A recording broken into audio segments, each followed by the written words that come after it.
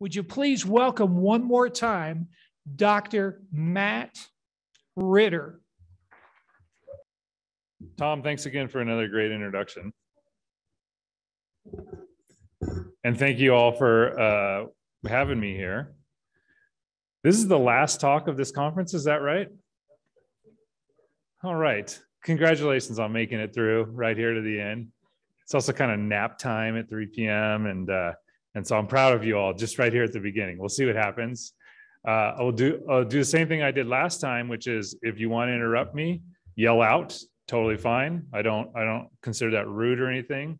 I believe that the opposite of stupidity is curiosity. So if you have questions, most everybody does, and so please, uh, please, this is a complicated topic, and I've tried to streamline it as best as I can, and it could be a thing we could talk about for hours and hours, and I get 50 minutes basically. So we'll do what we can, and and and and we'll see how it goes. And and, and I'll I would like to start by by talking about roots and the and the difference between roots and shoots. Earlier, I talked about shoots and and I talked about shoot apical meristems and axillary buds and nodes and attachments of leaves and so on. Well, well, I'll, I'll talk about roots briefly.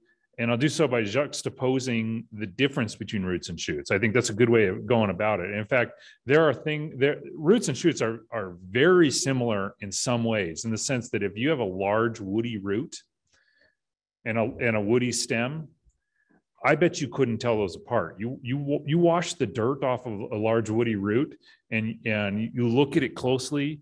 It's got bark there. It's got secondary growth. It's got a vascular cambium. It's got all those things, and they're, they're very difficult to tell apart at the woody stage.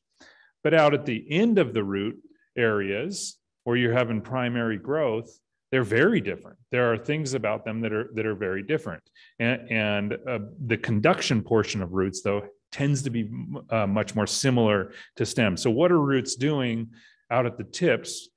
Well, in general, roots are holding plants to the substrate. You can think of it as a, a physical hold down anchorage situation. They absorb water from the moist environment, which we call the soil. You hope it's moist. And they conduct that water through the root system towards the base of a trunk of a tree. The water then moves upward from there, and we'll talk about that.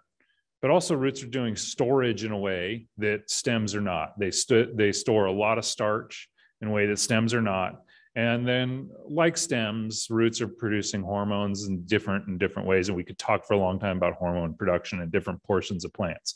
But roots do produce hormones. And so roots have a root cap, uh, that is uh, that actually protects the apical meristem of roots. So very different than the shoot apical meristem. The environments that these two things are in are very different. It's very it, it, you can grow through the air and not get damaged in a much different situation than growing through soil not getting damaged. So the root apical meristem is protected from its environment, and it also has a, a, a slimy mucigel around it that lubricates it in the environment. Roots don't have any nodes. They uh, and they have specialized epidermal cells called root hairs that, that, that increase the surface area with the soil to allow for water uptake. So that that um, that slimy mucigel that's around the root, root cap that lubricates the root is, root tips as they push their way into soil in the new soil environments in the search for water is an important component to what's going on at root tips. Also at root tips, the root cap is is sloughing off cells cells constantly. It's being renewed and sloughing off cells constantly. It's being renewed by the root apical meristem. The root apical meristem doesn't only produce all the things that make up the root, but it also produces the root cap constantly as a root is pushing through the through the soil.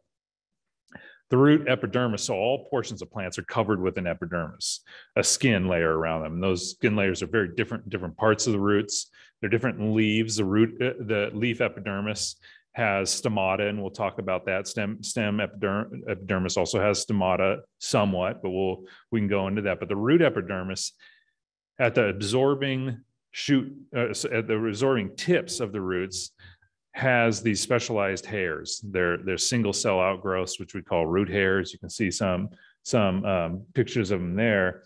And absorption is facilitated by these these root hairs, and um, and really root hairs are just single cell projections that increase surface area. Surface area is so important in plants.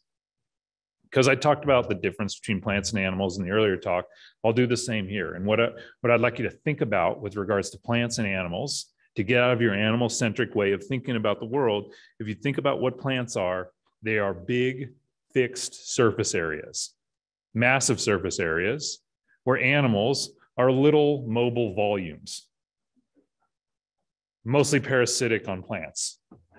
Who cares about them, right? Well, those big fixed surface areas, they they they they have to be massive surface areas because they come in contact with the environment through their surfaces and and water and gas exchange happens through surfaces. And so so where in your body is there a big fixed surface area? Your your lungs and your intestinal tract, right? Why is that? Well, you, you, you, you, that surface area is very important for absorption, right? So absorption of gases or absorption of the all the stuff you stuff in your your mouth all the time.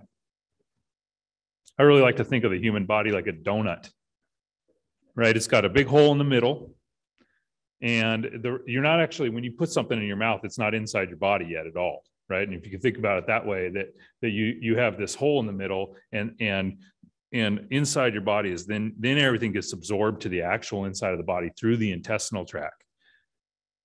So big fixed surface area on the inside of you and this small little mobile volume And animals they're just plants inside out. That's where the uh, all the surface area is so there's your plant animal comparison, but that fixed surface area idea comes back over and over again when you talk about everything from the ecology of plants to their biochemistry, all of that. A, a plant germinates in an area and then it's done, it's going to stay there. So, how does it manage the world? Well, with surface areas and branching and going out into the environment and, and interacting with it. And then I showed you that in the vasculature, that's the xylem and phloem, it's moving throughout the plant. It's moving throughout the plant, and it's in the it's in the stems. It peels off out into the leaves, all the way into the smallest leaves, out into the shoot apical meristem. Well, uh, an interesting thing happens at the root shoot boundary of trees, of plants, of, th- uh, of, of young plants. This is an example of a model of a young plant, what's going on. And so you can see that you have vascular bundles there, vascular bundles moving out in a ring at the stem and those converge at, at, at, the root shoot boundary. They converge at the root shoot boundary. Was well, why is that? Because well, it's the small roots at the tips. The vasculature is not in a ring on the outside of those small roots, but it's in a central column. And it's in a central column for a specific reason, also because of the environment it's in. It's absorbing materials into the root from the environment, and there has to be some filtration there at that point. And I'll talk about that uh, with regards to filtration. But the root vasculature is different. It's central rather than diffuse as it is in it is in the stem. And the root vasculature, if it's central, what is it? Well, it's xylem and phloem, but it's a, but it's a central column of radiating alternative xylem and phloem in that column. And you can see that right there, xylem, phloem, xylem, phloem, xylem, phloem in, in the central column, radiating arms, alternating strands of phloem with xylem, and they're surrounded by this cylinder called the pericycle. And that pericycle is meristematic cells, undifferentiated cells that can grow and divide. And it points on that star of xylem and phloem, where xylem and phloem are together, the pericycle can actually grow and divide and make a new root. And interestingly, totally different than how branching happens in stems, in roots, branching happens from the inside out. It has to push its way, a new branch, because of the it needs a connection to the vasculature. A new branch in roots has to come from the inside. It can't come from the outside. And because the, the connection to the vasculature has to be maintained. And so a lateral branch emerges from the inside of a root, pushes its way through the cortex and the epidermis of, of, of the parent root from which it's branching, and then grows a new root apical meristem and all of that. And so if we take, there's a cross section of a root in the upper left-hand corner with a branch coming from the inside of it. And you can see it's pushing its way through, through that. And then here's cross sections of actual stained cells of a root.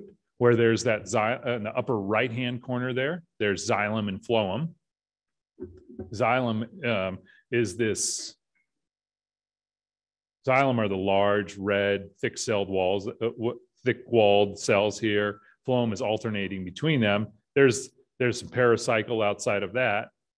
Outside of that is all what we call the cortex. That's the storage tissue and roots. And so if we look at that cross section, we can see some interesting things. One is that there's this band of really dark cells right around the xylem and phloem. Band of dark cells around the xylem and phloem is an interesting thing. And, and we call that band of, of dark cells. In this case, it looks like a band, but it's actually a cylinder around, around the xylem and phloem. The name for that is the endodermis the inside skin you, you, you would call that in which the endodermis is this spe- this single layer of cells here they're tightly packed together they have the shape of boxes they're very tightly packed together and the cells themselves are surrounded by a wax layer that wax layer is a specialized name called casparian strips and if you surround cells with wax and you stick them together, what it does is it makes it impenetrable to water. So when water gets picked up in those root hairs that I talked about out in the soil, how does water get in? Well, water just sort of osmoses its way in. It goes from high concentration in the soil to lower concentration in the cells of the plant, high concentration to low, low concentration. Water is a very small molecule, so it's moving its way through cell walls. It might cross a membrane or two and it's finding its way towards the center of the root. And we'll talk about what actually is going on as, as water is being pulled up. But if you looked at the path of water from the root hair to the center of the root, could be all over the place, could actually never enter a cell.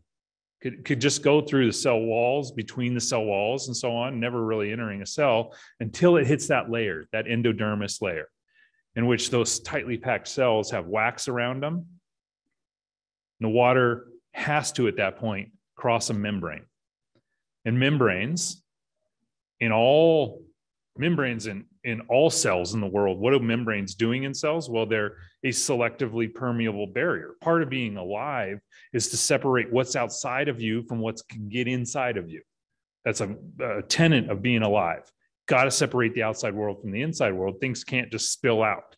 And so membranes are doing that and they're selectively permeable and they allow for water to get in, into the inside, but they don't allow for other things to get in. And so there's a there, there is a filtration of water going on, fungi, viruses, disease particles, other things that that the entire that that if they get through these cells, then they have access to the entire rest of the plant.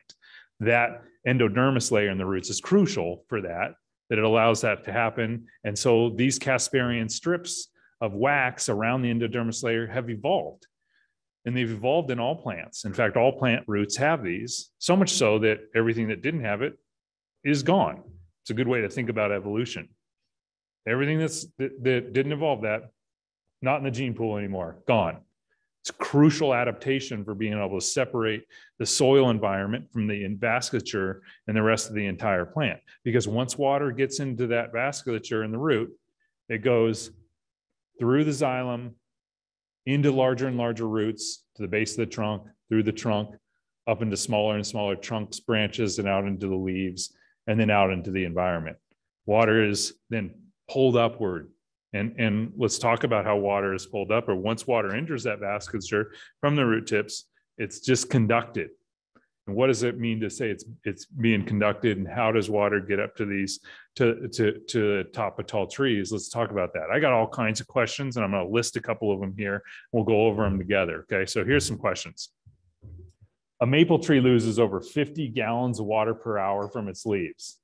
How does such a volume of water gets supplied to leaves. So much water goes up into to, to trees that sometimes on a hot day under a large oak tree, and I've had this experience in California many times. Some of you may have had it elsewhere. You can actually, it's colder and more moist under that tree than it is just 20 feet away outside the under from being under the canopy of the tree. Well, what is that? That's just a ton of water coming into the environment and, and from this tree through the body of the tree out into the environment.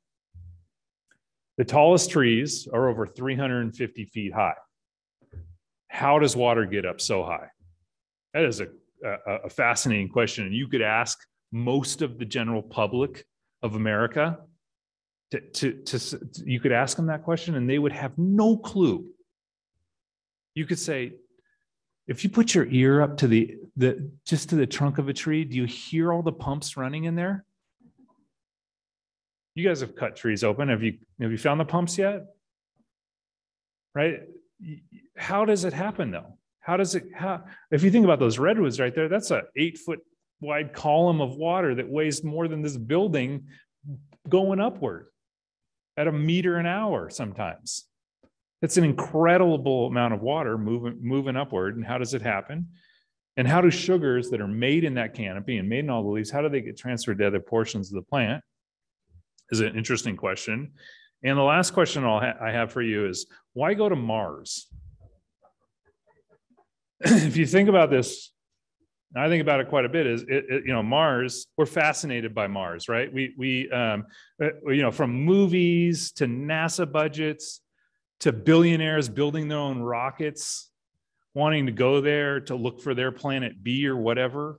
We seem to be thinking about Mars all the time. And um, you can actually go to NASA's Mars exploration page and you can get today's weather on Mars. Today's weather, as far as last time I looked it up, there was a high of 19 and a low of minus 90 you get the most recent images. You can get the uh, you know like the changing distances from the sun and so on. And the scientific papers of the expeditions abound. Here's one that's that's the perennial water ice identified on the south polar cap of mars. This is in nature. It was a big deal when when they found that. Here's another one in which th- this this says spectral evidence for hydrated salts and recurring slope lineae on Mars, which is a very fancy way of saying they found the evidence of erosion from a while ago. It looks like it was created by water, right? And, and, and I think the cover of National Geographic got it right that that Mars, what are we do, what are we doing with Mars? Is we're trying to we're trying to figure out, are we all alone in the world, in the universe? Are we? Is there life out there somewhere else? And because water is such a strange and wonderful molecule, we can't even envision a way that life exists in the absence of water. And if we're looking for life really a proxy for looking for for life is is is is looking for water. And a lot of mars exploration is about trying to find places where liquid water exists because potentially life has evolved separately and totally differently on mars but it's really unlikely to have evolved without water as as the basis for for it and back here on the planet water is the most abundant resource on the planet, yet it's the, the, the most limiting resource for plants that live on land.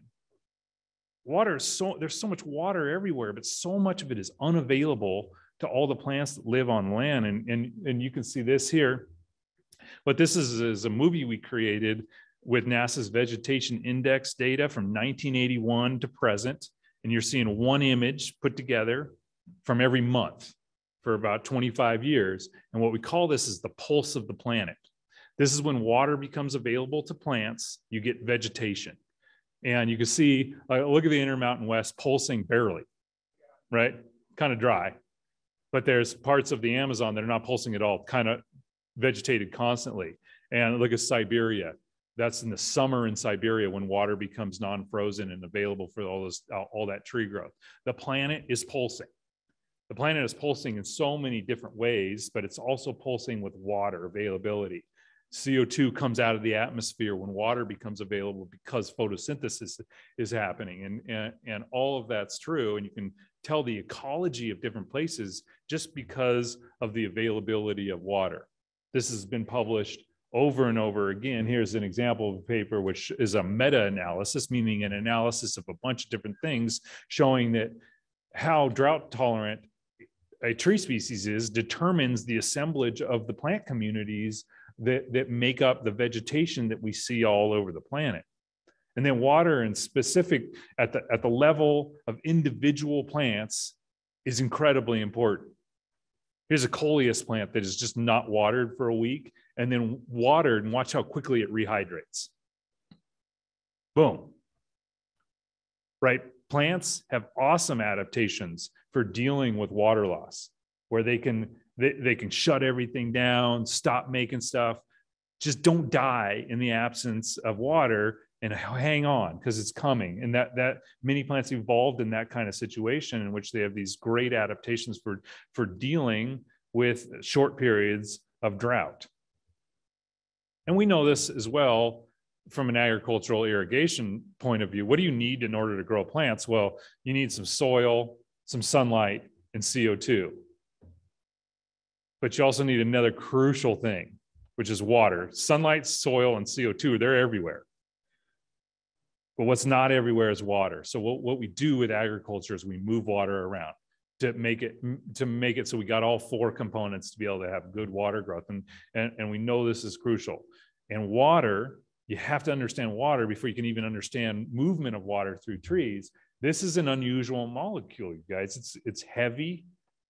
It is uh, it's a polar molecule, meaning it's got a slightly negative charge on one end and a slightly positive charge on the other end. It's the closest thing we know to a universal solvent in the sense that it sticks to almost anything. It's got you got to be a really oily molecule to not interact with water. And, and, and because of the slight polarity in the water molecule, it sticks to itself and really hold on to itself. We call that cohesion. Adhesion is sticking to everything, and cohesion is sticking to itself. And it's a bizarre molecule in a number of ways, but here's a crucial way in which it's weird. Think of yourself for just a second and think of yourself on, on a hot day and you're sitting on a porch and you have a cold beverage in your hand and it's got ice in there. Let's call that beverage iced tea, okay? You're enjoying an iced tea on a hot day. And it's a glass and you're holding it and you go like this with it, clink, clink, clink, clink. The ice cubes are moving around. Where are the ice cubes in your drink that you're picturing right now? They're at the top. You ever think about how weird that is?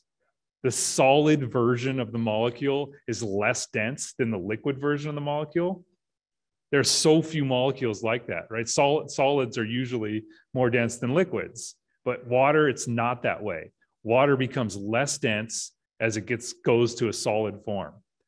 And if that weren't the case, life would not be possible on the planet, right? Because what would happen? The polar ice caps would sit, would sink, the top of the oceans would, would freeze and sink and freeze and sink until you would have planet ice. With around the equator, you would have a little bit of thawing. But because water has this weird aspect to it, makes life possible. It makes possible all kinds of crazy things that happen on the planet. And one of those things is its ability to move large distances upward in trees has to do with its, its characteristics of adhesion and cohesion, which I'll get back to.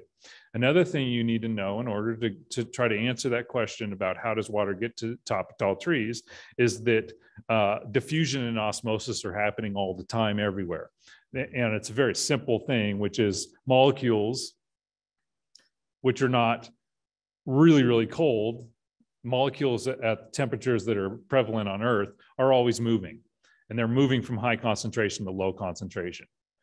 And, and, and that's what the, the diffusion, that's the definition of the diffusion is molecules moving from high concentration to low concentration until they reach some kind of equilibrium. There's a special kind of diffusion in which waters, water molecules or things move across a membrane. We call that osmosis.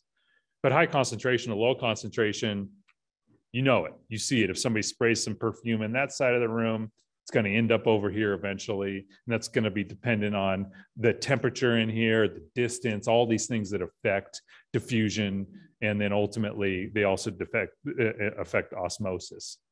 And if, and if you just look at this as a, sort of a thought experiment in which you imagine dropping some water that had, that had a 10% sugar solution into it, into a beaker of pure water and then putting this semi-permeable membrane in which sugar can't move through that membrane, but water could. Can you picture that situation? Well, what's going to happen is the water is going to move from high concentration to low concentration. And it's going to work against the pressure exerted by gravity in that column until it comes to some kind of equilibrium. And, and explaining water in plants, people use a thing called water potential, which is a combination of pressure potential and solute potential and, and all these things. And I'm not, I'm going to avoid that. I'm going to I'm going to constantly say water is going to move from high concentration to low concentration. So if you add 10% sugar to a solution, you've just effectively reduced the concentration of, of the water there. So water is going to move from high concentration in the pure water across the membrane. And because the sugar can't come out and equilibrate, you're just going to get more and more pressure inside that tube until the water uh, elevates. That's happening. And that's ha- and that, that's an important thing that this osmosis and, and diffusion is happening because it happens in uh, in cells. You can imagine a situation like this where a plant cell, in this case, gets put in either salty water or a plant cell gets in, into pure water. If the salt concentration is the same inside and outside, water won't move. But you put a plant cell in pure water, water is going to rush into that plant cell. You guys all get that? This is why it's really dangerous to inject a human with pure water. Can kill somebody doing that. Has to be salt water. Well, why? Because because pure water will just burst cells. Plant cells have walls around them. Animal cells don't. Plant cells, you can think of a plant cell as a balloon inside of a box. In animal cells, they're just balloons, so they'll pop if they get in really pure water. Water will just rush in until it pops the cell. Well, that's not true of plants. What happens if you get you you get a, a, plant in a pure water situation? Water will rush in until the balloon expands and it hits the inside of the box, which is the cell wall, and it exerts a pressure against it that pressure that it gets exerted against it, we call it turgor pressure. Turgor pressure is, is, is when you're seeing the rehydration and wilting going on there, it's the difference in turgor pressure, the balloon inside of the box at the cellular level. If water is rushing in, every single cell is exerting a pressure against that box that's around at the cell wall. And so you get this turgor pressure situation. And so turgor pressure is also crucial to understand when we're going to answer the question here in a little bit about how water moves through through tall trees. Another clue to think about is what does a leaf look like and what is actually going on in the morphology of the leaf. Well, if you take a leaf and you slice it and you looked at it on the on the end, you would see that there was a there's an epidermis, a skin covering on the top. There's a that that's the upper epidermis right there. There's a skin covering on the bottom the lower epidermis, and between them is the green photosynthetic cells. And there's also vasculature in there. There's xylem and phloem. Remember, xylem and phloem terminates out in the leaves.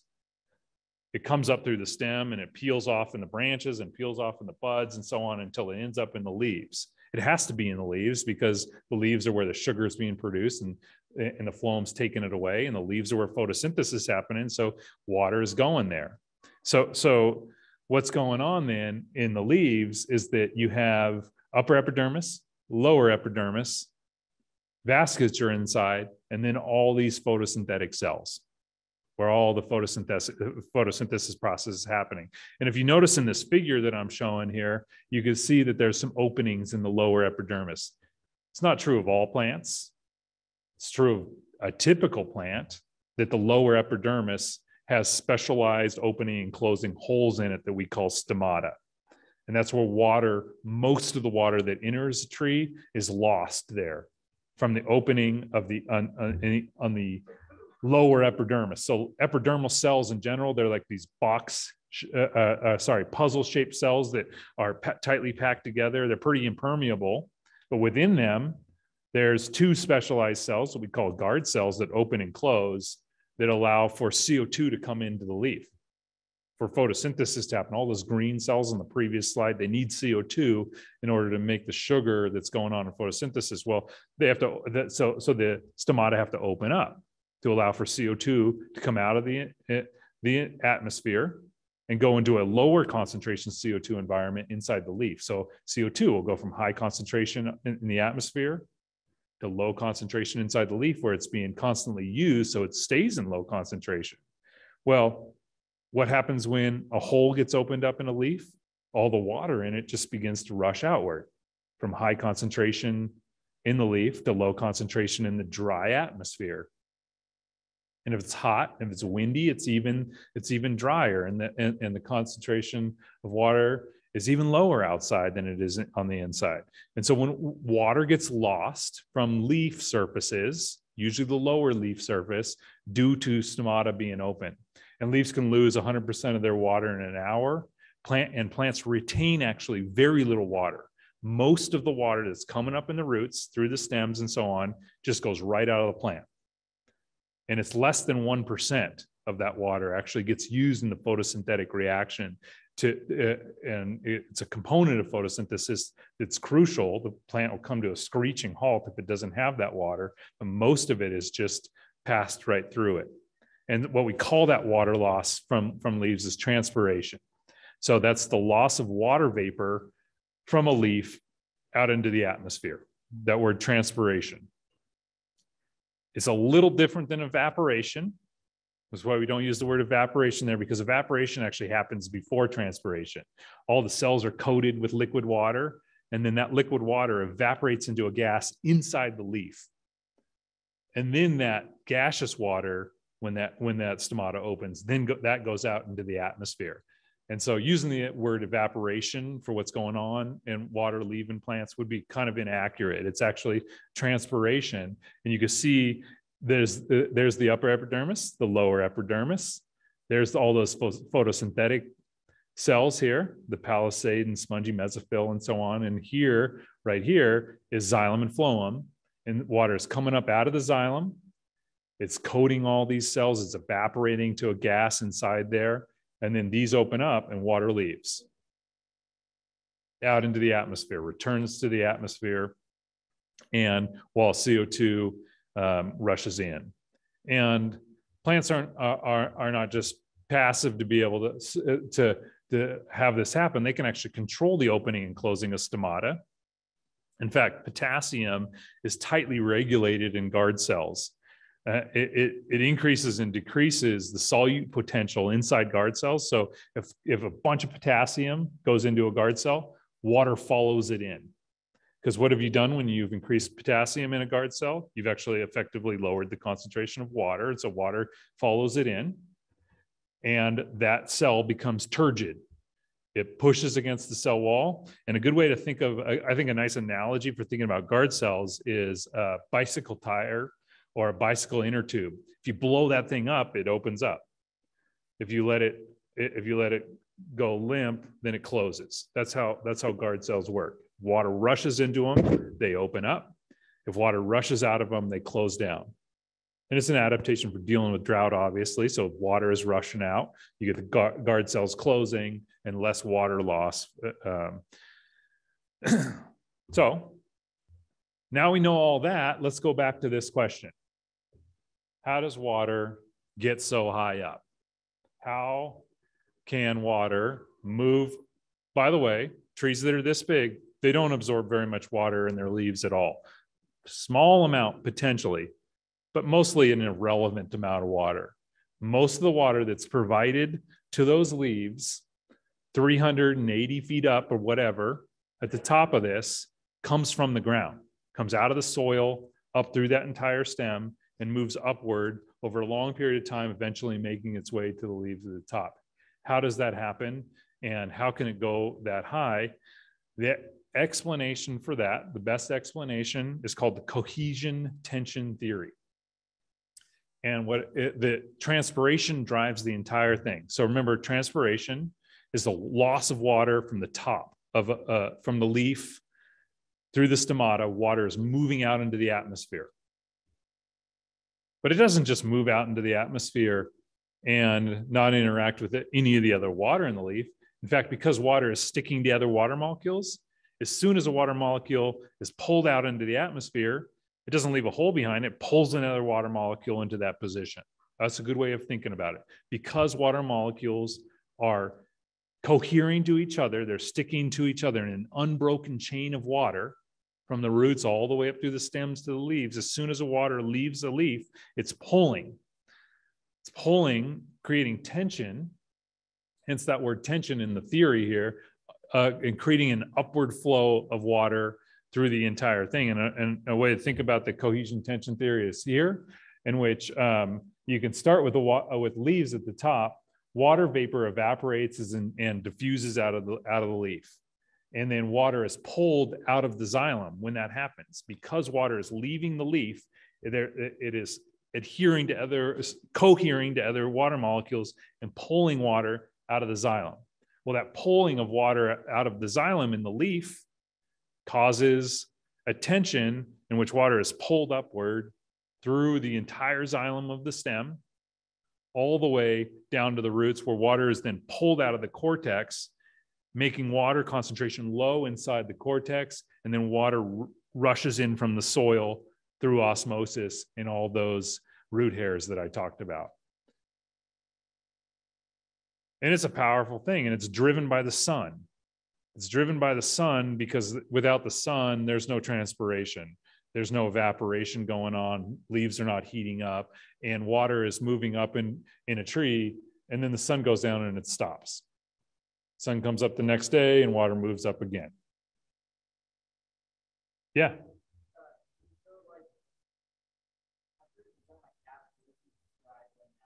Yeah. Yeah. So, so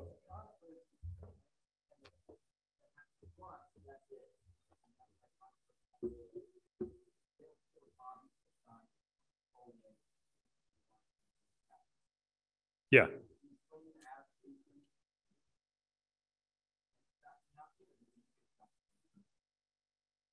No, no. Okay, so so so cavitation is happening sometimes. Well, it's happening all the time in all plants, and and a plant has to be in constant water, never have any drought stress to avoid cavitation. And in tropical trees and so on, cavitation is no big deal.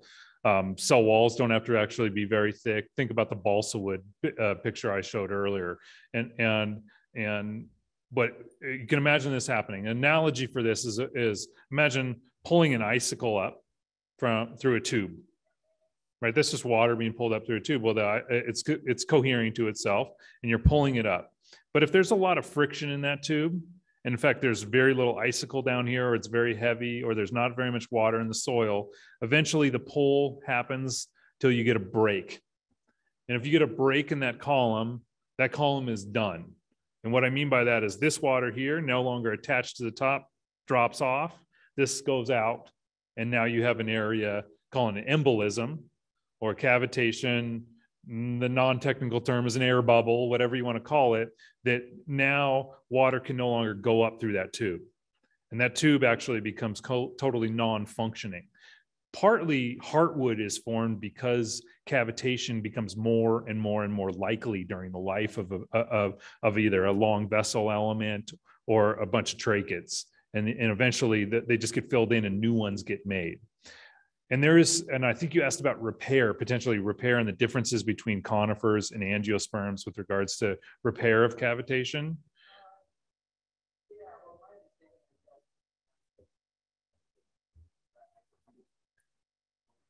Oh yeah, yeah. No, that the the plants do not put all their eggs in one basket. Right, most organisms that are successful don't. There's many, many many tracheary elements in conifers, many, many vessel elements that, uh, that are in the stems uh, of, of angiosperms or flowering plants.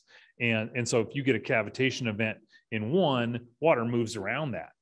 In fact, if, it, if cavitation actually happens and it becomes very cool and very moist at night, the cavitation can actually be repaired by water moving back in and, and, and just diffusing into that area. So cavitation repair actually does happen.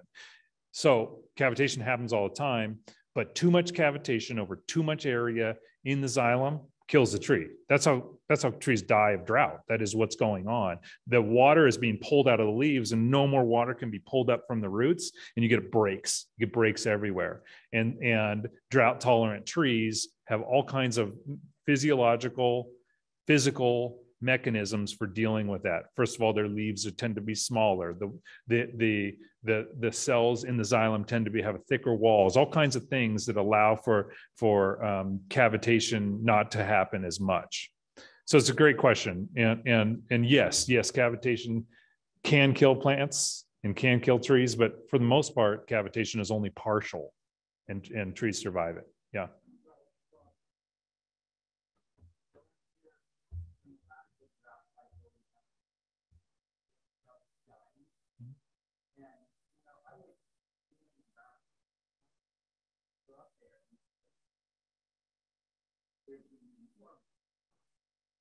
Yeah.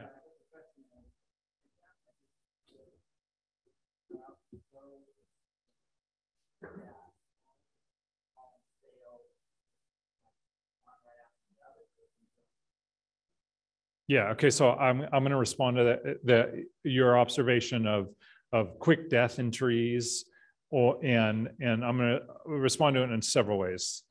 One is that we are very bad at actually recognizing things in the environment. What I mean by that is that that you can't even tell individuals of of of within a species apart. Can you eh, can you tell if I showed you a picture of a ponderosa pine and another one, you could tell they were different individuals or not? All those types of things. We're just very bad at doing that.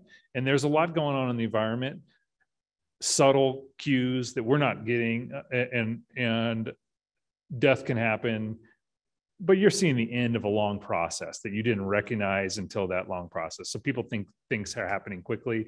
Well you're you're just experiencing it quickly it, it, and and that you didn't you were ignorant of the entire first portions of that process. So that's one thing that, that sorry to call you ignorant in my answer right there but it, but it's a great way to answer somebody's question. You're just ignorant.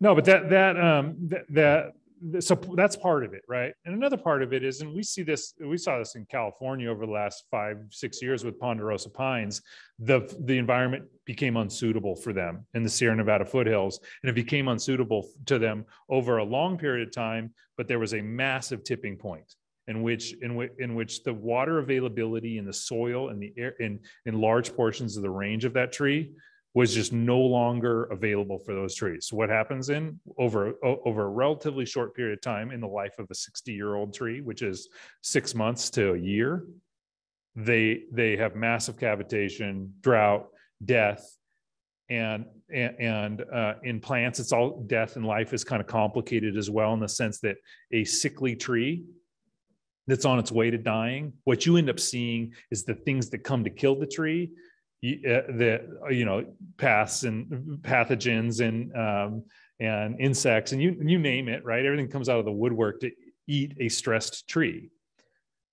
But the stress is the thing that matters right? And and and oftentimes what matters is the stress of of drought. And we've seen it so much in california where everybody sees all these new diseases and so on. And it's just drought stress. So much drought stress is there and, and for for sickly trees and so that tipping point that you talked about is real. That happens, but I also think that we don't see the whole first first portion of the process. So those are great questions, and and um, and thanks for interrupting me with with regards to that. Um, I'll say that the sky has a very low water potential. The atmosphere has a low water potential, and soil has, in general, a high water potential or high concentration of water in the soil.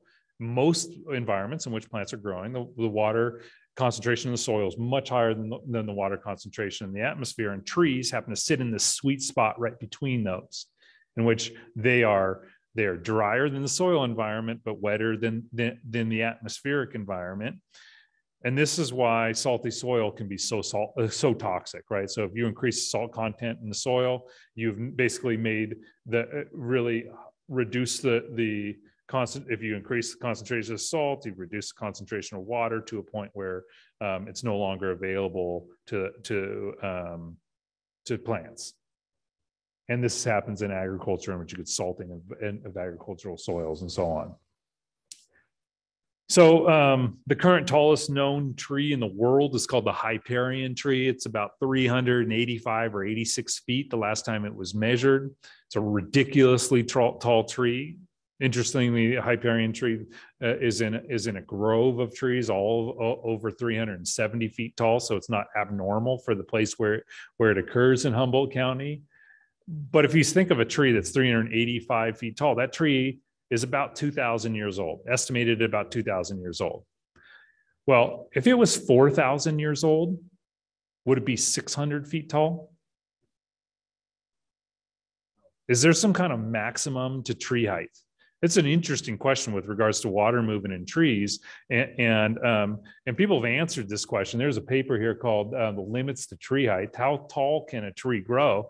That that that paper was published in which they showed some of these answers and they used the redwood tree as a model system for for trying to study how tall could a tree go because you can make these this interesting observation in redwood trees and that's that there's different leaves at different heights of the tree. This is what a leaf of a redwood looks like that you normally see within a couple meters 10 20 feet off the ground looks like this but if you go 200 feet up in a redwood tree the leaves look like that and, and here's one figure in that paper. What you're seeing in this figure is the numbers are the meters above ground. So two meters, six feet, give or take, above ground, the leaves look like this. Well, if you go up to 35 meters, now you're up to like 100 feet, looks like about like that. Go up all the way to over 300 feet, 112 meters right there. And there are these teeny little awl shaped needle like leaves that you would barely recognize as a redwood uh, leaf. And so, what's going on here is, is that there's actually potentially a physiological limit to tree height. First of all, I should mention that trees are more than sufficiently engineered to grow way taller than we currently know them to be. If you think about this, this 300 foot tall redwood, how wide is the base of that redwood? what's the it's it, what's the diameter of a 300 foot tall redwood? Well it's like 30 feet. It's a 10 to 1 ratio of height to diameter. That's nothing. Right? There's palms out in the world where they have a 100 to 1 ratio. Cells are really strong and all and, and so the, the ratio there it can be much more. They're engineered for for for a ton of height but maybe there's this physiological limit. And this is another figure in which they showed basically they they measured the co2 outside the leaf and the amount of co2 outside the leaf goes up and up. Water availability and photosynthetic efficiency go down down down as you go up up in a tree. And, and the leaf density which i just showed you goes up. And all those converge at a point at at um, 130 meters above the ground, 425 feet. And unless the laws of physics change on the planet, that's the tallest tree you'll ever get on planet Earth this is 425 feet, which is fascinating because there's Doug firs that were fell and then measured when they're on the ground to be over 400 feet tall in the past. And, and so potentially trees have actually uh, uh, reached this physiological limit, and the tallest trees now known are not at that physiological limit, but they could be. They could be um, uh, you know, given another thousand years, be up over 400 feet. So another question to think about is how do sugars made in the leaves end up in different parts of the plant? So if you have um, if you have sugars, tons of sugars being made, they have to make it to places where sugars can't be made. Things not out in in the open air and in the sunlight where they can make all their own sugars. Well, what is that? That's the entire half of the plant underground. But it's also other places you may not think about, like the vascular cambium and the cork cambium, or even new developing leaves or, or flowers and fruits. All of those require sugar inputs. And so how do, they, how do they make their way around? And if, and if we go back to this, this anatomy again of a leaf, there's our upper epidermis, lower epidermis, there's the vasculature. Here's all the photosynthetic cells. You got those stomata on the lower surface. Well, all those photosynthetic cells there, they're just factories for sugar. They're pumping it out sugar is very readily available in photosynthetic leaves and and and that has to be somehow moved to other parts of it and sugars are, are loaded into the phloem in leaves not very many plant cells are very far from xylem and phloem they have to be close to xylem and phloem because then sugar's loaded into the phloem and water is taken out of the xylem and sugars are transported in the phloem i said earlier that water is transported in the xylem passively upward pulled upward by the process of transpiration, well, sugars are actively transported in the phloem. And what is sugar? What and typically um, 90% of the dry matter in the phloem is sugar. So there's other things in there. There's hormones and, and, and other organic molecules, but mostly it's sugar. And mostly in most plants, it's a dimer between glucose and fructose, fructose, that dimer that we call sucrose, table sugar. That's what's being moved around long distances in the phloem in, uh, in plants. And we know that from some cool experiments in which you, if you take an aphid, and an aphid is an is an awesome insect that's adapted to be able to sense phloem, stick its mouthpiece, its stylet right down into the phloem, and start to drink the sugar water out of the phloem. And, and not only does it drink the sugar water, it doesn't even have to suck very much. The sugar water just rushes into the aphid and it eats and drinks and eats and drinks and then eventually just starts to poop out sugar water. And some of you may have had the experience of actually being under a tree that's got a ton of aphids on it and you it's just raining sugar water. Guess what though? That's not really sugar water, it's aphid poop that's raining on you. And ants know this, right? Ants ants farm aphids they move them around and stuff like that so they can drink the the, the sugar water that comes out of the anus of the uh, uh, of the aphid well if you take that mouth stylet you can actually cut the aphid off its mouthpiece and continue to to to drip what, what's coming out of the phloem and people have analyzed that and it's a bunch of sucrose well that's where all the sugar is being moved around and it's being moved around actively. And what I mean by actively is that it's being pumped across membranes. Phloem is living tissue. Xylem, the transport cells in xylem, tracheids and vessel elements are dead. But in phloem, those the transport cells, the sieve tube members, they're alive. What do I mean by they're alive? Well, they have functioning membranes inside of them.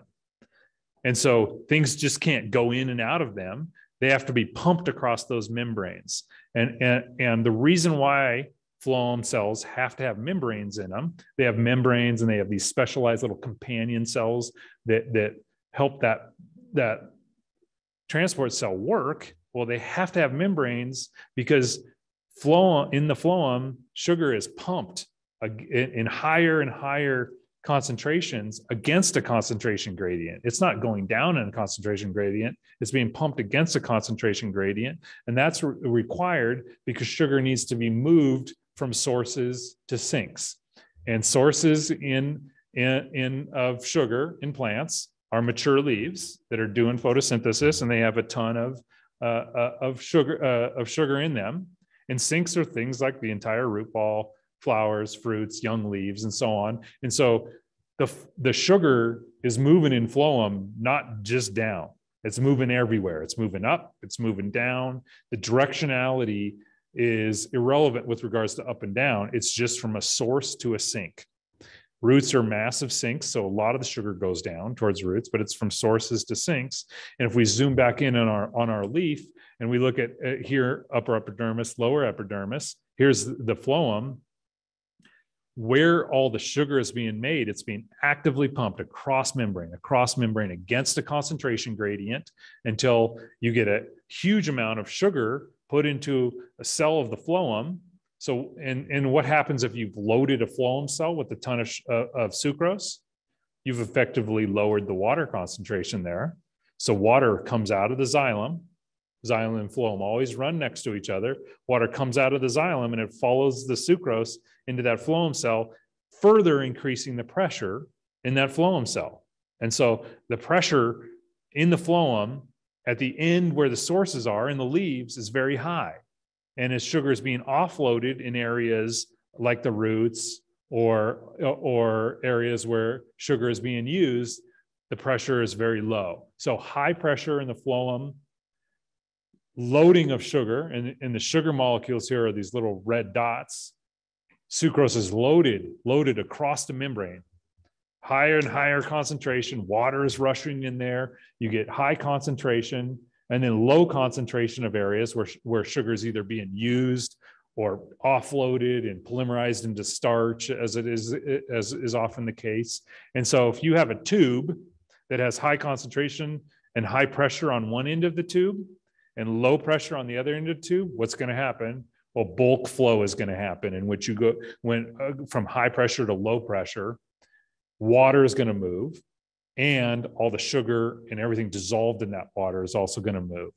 And so xylem and phloem, which always run right next to each other, as soon as the sugar is offloaded and being used, as you're loading sugar off of there, you're effectively increasing the water concentration in the phloem, and it goes back to the xylem and will move in the xylem stream upward and around in the plant to where it is once again moved into the phloem. So that's why xylem and phloem Xylem never occurs without phloem next to it, and phloem never without xylem next to it, because they're both crucial for the movement of water through trees, in which you have this looks like a cross section from what I showed you earlier, in which you have xylem and phloem running right next to each other in a stem. Here's from earlier in this talk, in which you have this xylem and phloem in a polar star in the middle of in the stele, the central column of, of roots. And because carbohydrates are made in leaves, and you get this loading of phloem in the leaves, you get phloem pu- uh, sugar pushed around in the phloem. Meanwhile, transpiration is constantly happening. Leaves are out in the sun during the day, water is being lost from them, and there's a pull, like pulling an icicle through a tube, pulling a string through a tube, whatever you want to call it, a pull of water upward from from that. And and um, and with that, I'll summarize this and say that roots have specialized tissues that allow them to function in the soil environment, different from stems. Roots are different from stems in that regard. Trees transpire water through their stomata, which pulls water upward in their tissues. If, if water didn't cohere to itself, if water wasn't sticky to itself, there'd be mo- no water tension in the world, and the world would be a very weird place. But also, water couldn't move up in trees in that case. And so, water has to stick to itself for this whole thing to work. Water moves passively upward from the soil through trees, through xylem, in that cohesion tension. What I mean by passively is not a molecule of energy burnt in order for it to happen. Pumping sugar across a membrane requires ATP and it requires energy. So moving uh, sugar in the phloem, you burn energy. Trees burn energy to, to do that. Well, that's no big deal because that, all that sugar is a bunch of energy, so it's fine. But the passive movement of water is driven by evaporation and transpiration from the sun up above. And sugars made in the leaves, which are sources, are actively transported in living conductive conducting cells, sieve tube elements, and so on of the phloem to areas where sugars are used and or stored in those in those areas. And so um, that's a summary of water and plants. That's a that's like a five week lecture series that I did in an hour right there. If you're more confused and you know less about water now than you did an hour ago, I'm sorry about that. But hopefully you will leave this thinking thinking there's a weird guy who knows a lot about water in plants and then you can email me and I can help you with questions and so on and you and you remember my contact information and um, and I told you earlier that I write books and I and I sell books and to to, to get people interested in plants we I carried two boxes of books here thinking I'm going to have to carry these two boxes of books back. And it turns out I didn't. We sold them all. But if you were interested in getting a book from me, then my, my publisher is called Pacific Street Publishing. All the books that I've written are there. And um, and they've told me to say, say to you guys that I will sign all the books that are bought and for the next two weeks before they get mailed out if you want to do that. And so um, so pacific street publishing is where these books that i've written are. And with that i'll say thank you for listening and we can answer some questions.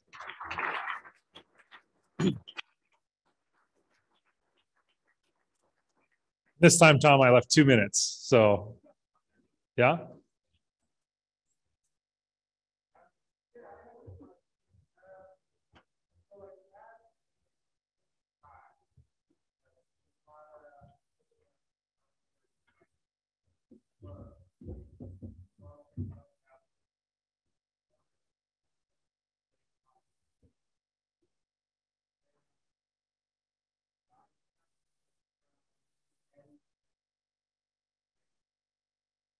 Uh, yeah, yeah, sort of. Okay, so um, I'm gonna go back to the mic and say I'm, I'm gonna try to paraphrase your question. As it gets really hot, I didn't. I didn't hear the next phrase, but you said something like stomata close. Is that what you said? Yeah. Totally different different types of trees, but but it depends on how adapted they are to heat and drought and those types of things. One physiological adaptation to extreme heat is closing of stomata. And you can still get dieback in that situation. What, what, is, what, what is toxic for plants in extreme heat is not necessarily water and, and problems with water. What's toxic for plants in extreme heat can be um, oxygen radicals and other problems associated with photosynthesis in the leaf, in which the leaves begin to shut down and the leaf, uh, all the proteins around the photosynthetic arrays fall apart and then they don't recover and then and, and you get death of leaves. So death of leaves over a large period of uh, area looks ultimately like death of the stems and dieback in extreme heat events that that can happen. Uh, and that has uh, less to do with water than it has to do with if and maybe some of you've had this experience in which you've had a house plant. You take your house plant and you set it out in the full sun. What happens to the house plant? It gets fried right but if you take the house plant and you slowly move it out into the sun over a period of a week or two, it doesn't get fried. Well, that's because of physiological adaptations the plant have for dealing with that photosynthetic array and all the oxygen radicals taking photons of light and hitting a leaf with it is a very dangerous situation for all those cells and so there's many proteins that help shepherd that whole thing and not help help the leaf not light on fire and have all kinds of problems with it. But those take time to build. And so heat snaps over short periods of time just destroy the whole photosynthetic pro, uh, um, array of uh, proteins and all of that and burn the leaves. And then you get dieback associated with that. So so even though their their stomata closed down because of extreme heat the really the problem there is is is other problems as well. And then if you begin to talk about well outside trees but there's there, plants that have different adaptations for opening and closing stomata. There's a whole kind of photosynthesis which we call CAM photosynthesis in which the stomata are just closed during the day entirely they don't allow any CO2 to come in during the day. They only allow it to come in at night so that during the day, the stomata are closed and no water is left from those plants during the day. There are very few CAM photosynthesis trees, but there are many CAM photosynthesis plants that exist in very hot, dry environments. You can't get a tree without water. It actually is a violation of the laws of physics for tr- large trees to exist in very dry areas. Where do large trees exist? They exist in wet, high rainfall, riparian areas where water is readily available. But there are plants that exist outside of those areas, and they usually have fascinating ways of dealing with the, their stomata. Yes.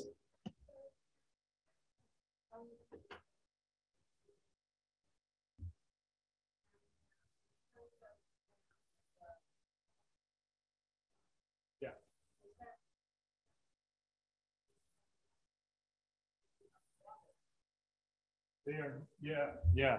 So not only are they not taking moving water upward during the night, they aren't moving a water upward during whole periods of the year when they don't have leaves on them. So, so deciduous trees, the stream of upward water pretty much for the most part ends. Water gets lost somewhat from stems, and, and, and but that whole time of the year, the water in the xylem sits there the, the chain of water is unbroken still, but the water just sits there.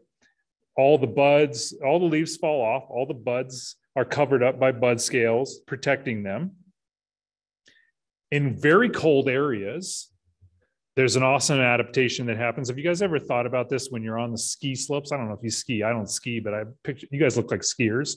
You, you're, you're you're you're looking at all these trees and it's like minus 10 let's say why aren't the trees popping? It's a column of water. It's a column of water. What happens when you take a column of water full of sugar and you put it in the freezer? I'm talking about like a Coke can. It expands and it breaks the can, right? So why aren't the trees popping everywhere?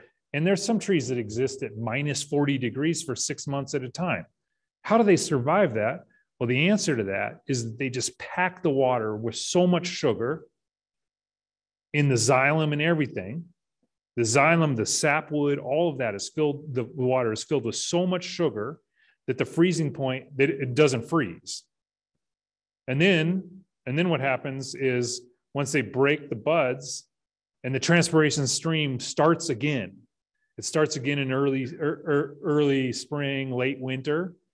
Well, all the xylem is filled with sugar at that point, and you can jam a nail into it and run it out and you call it maple syrup, right? If you cook it down. That, that, that is because of that adaptation of surviving the winter and not exploding. But it's also the result of water stopping for uh, the water's not moving. Not only is it not moving at night, but it is not moving entirely during the, the deciduous portion of the year.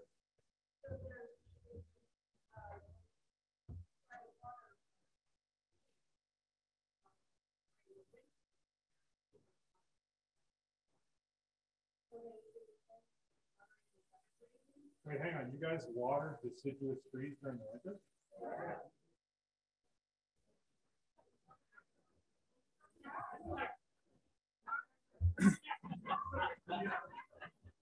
Wait, uh, yeah, no, you, you water deciduous trees during the winter. Why? Well, there's a small amount of water loss potentially through through those bud scales and so on there's potentially a small amount of water loss through lenticels and, and some of the cork tissue on the on the smaller stems. But I mean, I mean, well, if somebody's paying you to water them, then fine. Yeah, I get it. That's that, that's fine. I'm not I'm not sure. Has anybody done the experiment? Don't water them during the winter and see what happens. Do you get yelled at or they die? Those are two very different things.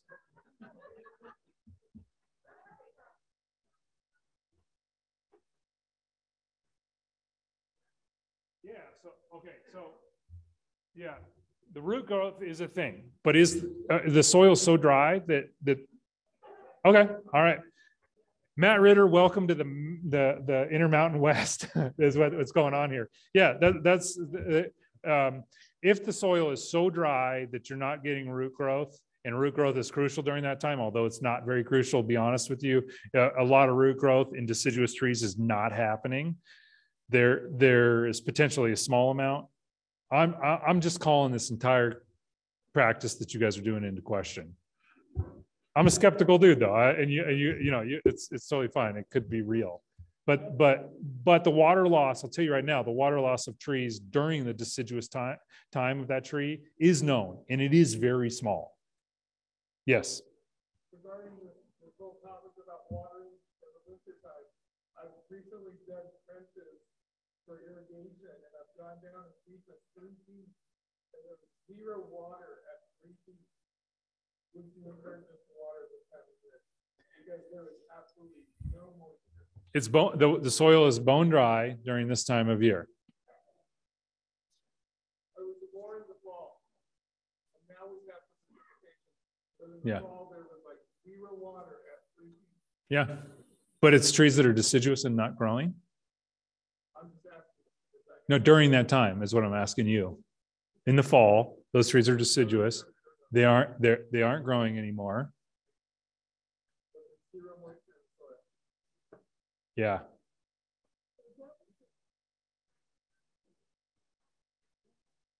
All right. Well, um, yeah, I don't know what to tell you. Uh, that that that um, you could you could replicate that very easy in a nursery experiment, and and you could see how um, how valuable that practice is, and it might be. And and and um, and I'm skeptical, but so what? I don't know as much as you do about the way to grow trees here. That's fine. And and and I I would say let this be a lesson to me and you, which is skepticism is important right why are you doing the practices that you're doing is something you should be thinking about all the time are you guys not thinking that you are right you're thinking what what is the point here? What am I doing? Am I wasting water? Is this important? Have I seen trees suffer that didn't this did not happen to? What's going on on a more global level? I have a number of 10 trees that I know, but I need 100 to be able to answer this question. I need some statistical re- reality here in order to answer this. And so all those things are things you should be thinking. And I, I, could easily, I could be wrong here. I know I'm not wrong about the physiology, but I could be wrong about the Intermountain West, the soil moisture at the time when trees are going dormant and that they are still slightly growing. That's all things to consider. So yeah. Before I get hung up here, I, I, I, I uh, I want to stop this conversation because you guys know more than I do about about the specific uh, specific thing here. So, yeah, yeah. Um, one, let's do one. You're, No, one more question. Was it about that topic? And you're you're you're over it. Yeah. One more question, all the way in the back, and we'll that'll be the last one.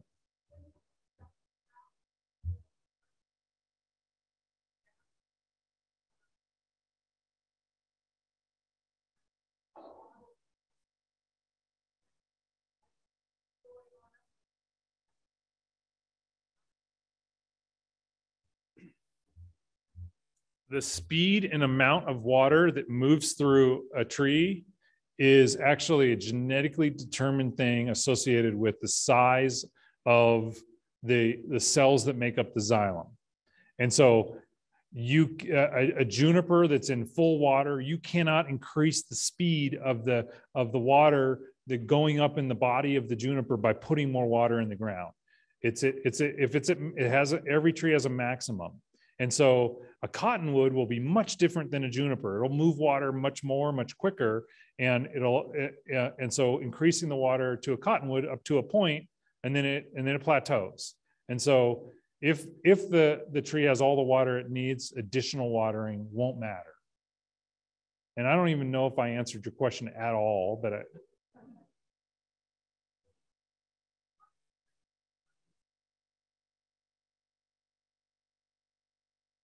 you're over if you're overwatering trees, the water is leaving the environment not through the body of the tree too. It's leaving the the the environment through runoff. It's leaving the water the environment through other plants, through evaporation, through all kinds of things, and not transpiration. And the, the relationship between evaporation and transpiration, evapotranspiration, let's call it, is not only in the body of the tree, but in the environment and so on. And so overwatering, the water just goes elsewhere.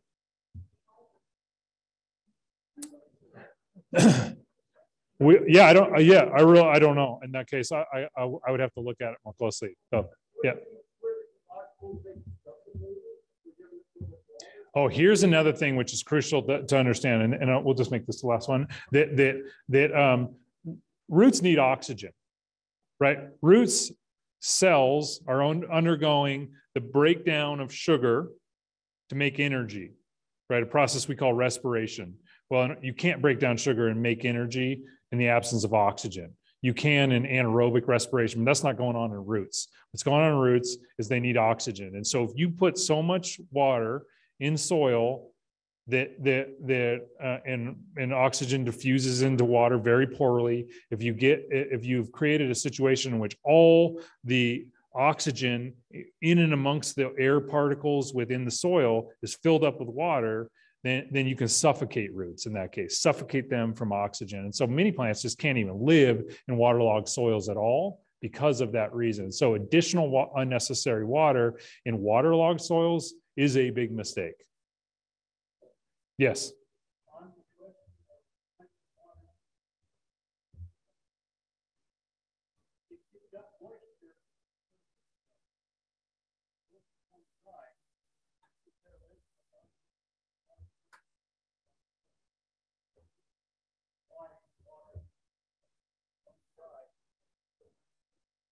Yep.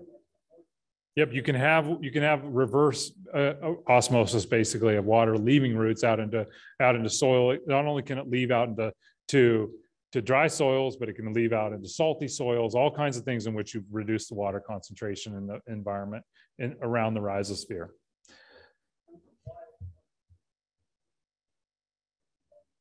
Is another possibility. Yep. Yep. Okay. Well, thank you all for listening and uh, thanks for that great discussion.